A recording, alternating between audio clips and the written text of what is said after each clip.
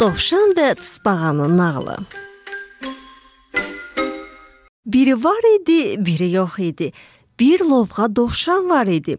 Bu dovşan hamıdan bərk qaçmağına görə fəxr eləyir, tısbağanısa ləng olmasına görə lağa qoyurdu.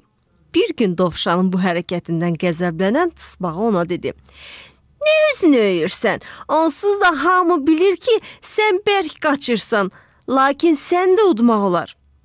Dovşan gülərək cavab verdi. Yarışda uduzmaq kim məni uda bilər? Məni udan tapılmaz. Mən çox bərk qaçıram. İstəyirsən yarışaq? Dovşanın lovğalığından təngə gələn tısbağa onunla yarışmağa razı oldu. Onlar qaçacaqları məsafəni təyin etdilər. Səhər tezdən hamı yarış meydanına gəldi. Dovşan yoxlu halda əsnəyə-əsnəyə, ləng tısbağa isə ayağını sürüyə-sürüyə gəlib çıxdı. Tısbağanın ləng olmasını görən dovşan ayaqüstü biraz mürgüləmək qərarına gəldi və dedi: "Sən get, mən biraz yatım, sonra bir göz qırpımında gəlib sənə çataram." Dovşan bunu deyib yatdı. Biraz keçmiş oyanıb yuxulu gözləri ilə tısbağanı axtardı.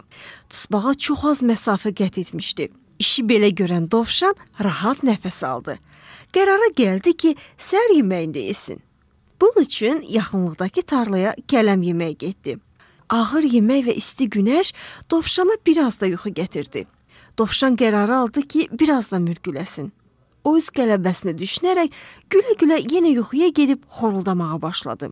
Artıq günəş üfüqa doğru hərəkət etməyə başlamışdı. Sübh tezdən yorulmadan qələbəyə doğru hərəkət edən tısbağanın son nöqtəyə çatmasına lap az qalmışdı. Bu vaxt dovşan qəfil yuxudan oyandı. O tısbağanın son nöqtəyə çatdığını görərək sürətlə irəli atıldı və çətin nəfəs ala-ala qaçmağa başladı. Az qala dovşan tısbağaya çatmışdı, lakin onun axırıncı cəhdi əhəmiyyətsiz oldu. Tısbağa artıq onu son xəttə gözləyirdi.